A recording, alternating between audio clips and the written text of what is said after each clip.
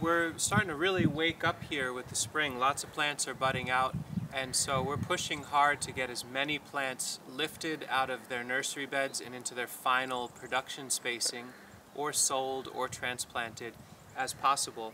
And right now Sasha and I are working in an area um, and she recommended I make a video about this because it's a concept that I'm toying with that I think is a, a really simple polyculture that has some, or simple guild as in a distinction from polyculture, it's not just a few plants next to each other.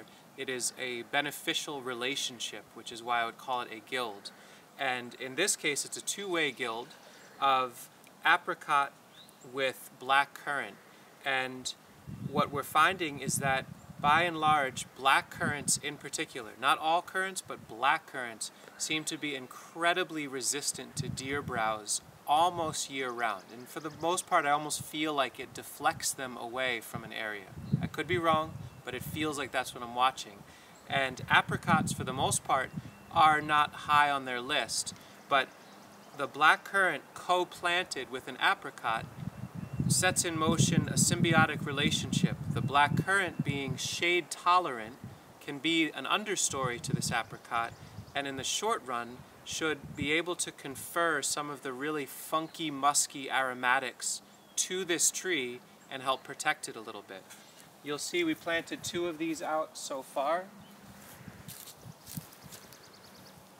The black currant, in this case this is Prince Consort black currant. It's a rooted cutting from last year.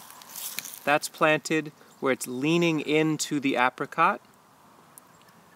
And as the apricot leafs out and grows, they'll be in competition with one another for light resources, and the apricot will be encouraged to push itself upwards faster. Rather than sprawling laterally, it should go upwards, which is what I would want, is to get it up into the canopy.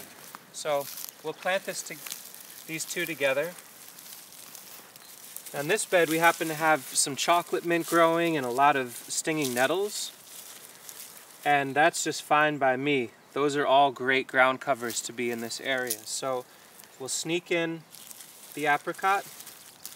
As the overstory plant, I will plant it to the north so that it can be taller than the understory shrub, which is our currant. And of course we could just push in a hardwood cutting of a currant but we've got enough of these rooted plants that I figure we'll plant them together. You can see I've got a very formal and deliberate planting style here. We'll make a video about what are the quickest ways to be able to plant trees and shrubs.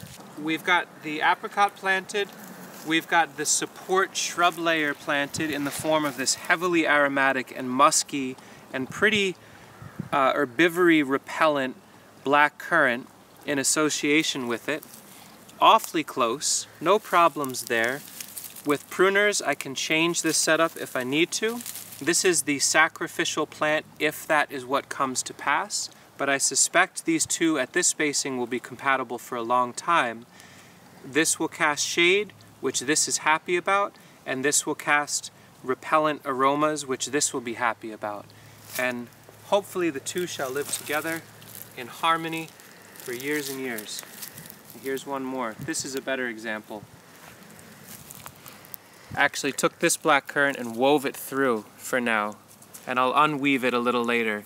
But this way it's always putting that, that, that musky stank of the black currant all up on that apricot. we'll share a whole bunch more novel and uh, empirically based functional guilds as time goes on. But for now we're going to try to get another 50 trees in the ground the next hour or two.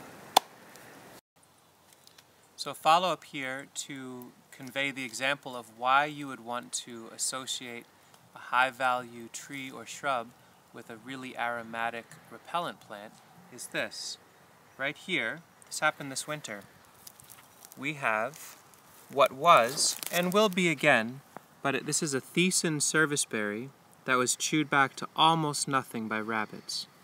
Now luckily it's not grafted so it will sprout again and I have a second chance to help defend this plant from predation. To the side over here we have a lavender plant. And you'll say, okay, but what's the point of that? You're not telling me anything. We also have inside of this lavender plant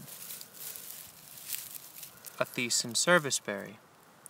It didn't get a single drop of attention from the rabbits because it was hidden inside of lavender for the winter. It will easily push through the lavender and grow. And so this Thiessen has the benefit of being this serviceberry one full year ahead of its partner. I planted both of these on the same day. This one with aromatic companionship, this one on its own, and there you go. Mm -hmm.